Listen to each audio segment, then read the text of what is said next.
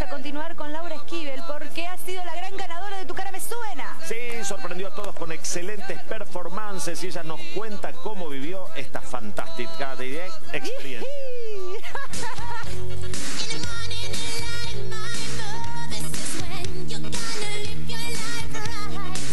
Fuiste la gran ganadora también del programa Mi cara me suena, eh, puro talento. Sí, ayer eh, también,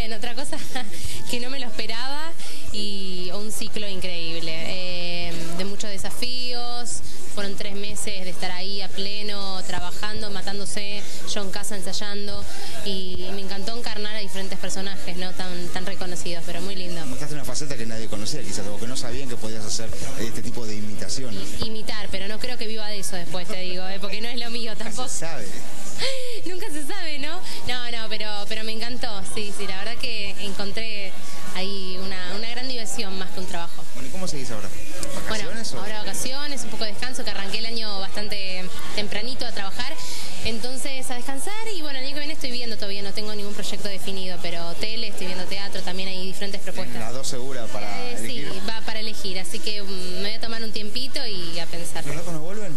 Los locos no vuelven, terminamos en noviembre, sí. Porque había una posibilidad de quizás volvían en enero, pero... Claro, no, no volvemos, no volvemos. Gran año para Laura Esquivel, que este año además brilló eh, con los Locos Adams en el teatro.